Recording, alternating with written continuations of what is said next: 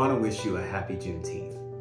We all know that even though we celebrate Independence Day on the 4th of July, that it wasn't until June 19, 1865, when all Americans were truly free.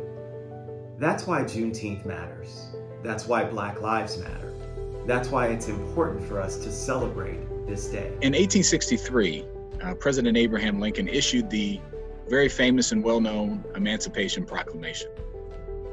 But Juneteenth commemorates and celebrates the two and a half years later, on June 19, 1865, when that news of freedom finally reached enslaved African Americans in Galveston, Texas.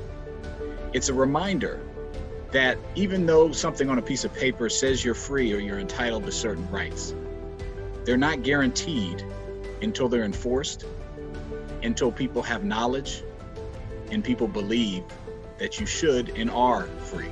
Let's recommit ourselves to working together to erase this stain from our country. For all the protesters, everyone out there who has stepped up, thank you, and I pledge to work with you, alongside you, to create a much better present and future for our amazing country. We live in a very important moment in time, and we will rise to that moment. I want to acknowledge and thank all of my colleagues on the County Council for the work we've done thus far to enact racial equity legislation and also acknowledge that racism is, in fact, a public health crisis. We have a lot of work to do, but today we reflect on our past and look forward to our future. Since the last slave was freed on June 19, 1865, Juneteenth has been a day to celebrate emancipation. We read the Emancipation Proclamation and reflect on its meaning. The pervasive scars of our nation's legacy of racism remain visible at the ballot box, the courthouse, and beyond. So this Juneteenth, let's recommit ourselves to working toward freedom, justice, and equality for all Americans. It's a celebration of freedom, but only once everybody has realized it. We have a lot of work to do to create a more just, more equitable, and more perfect union.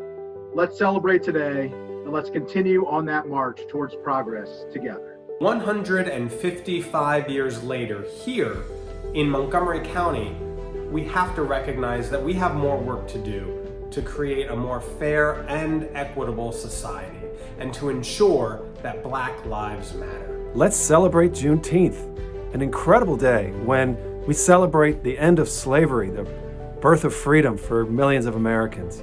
And let's remember, the cause of abolition, the promise of abolition, is not yet fulfilled.